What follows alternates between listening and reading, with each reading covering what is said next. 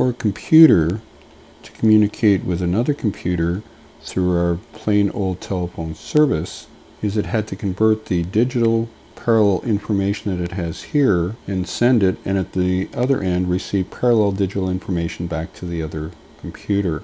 Now this network or plain old telephone service that we had could only handle sounds, tones. So we have something called a modulator, demodulator, connected to the sending computer here that had a maximum throughput of 56K. And what the modem would do is convert the parallel information into serial information as it sent it through the system. But not only from parallel to serial, but it had to convert the high and low voltages that you've got here into high and low tones so that it would be able to be sent through our telephone service. Now, that's what the modulator did. It did parallel to serial and then it would actually convert that to high and low tones. Now, the plain old telephone service that we've got here is a very slow means to send information from one point to the other, especially serially. And so what this modem would have inside, it would have a codec to compress the information, send it through, and on the other modem there would also be the same codec to decompress that same information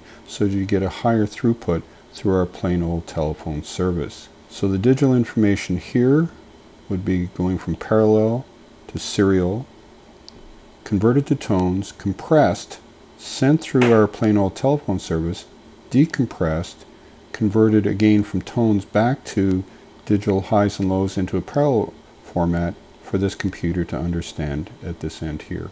And here we can see a summary of what the modem does.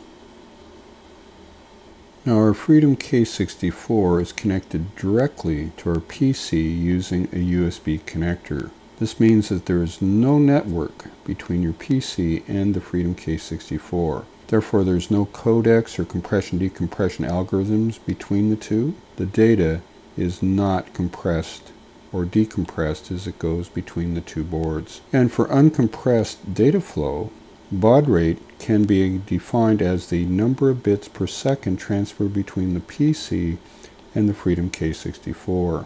So the default baud rate for the Freedom K64 is 9600 baud or 9600 bits per second. PuTTY is the terminal program on the PC. And it treats your PC as if it was just a simple keyboard and screen, in other words, a terminal. The baud rate for PuTTY must be matching the one for the Freedom K64. If you wish to use a higher baud rate than 9600 baud, you can no longer use printf.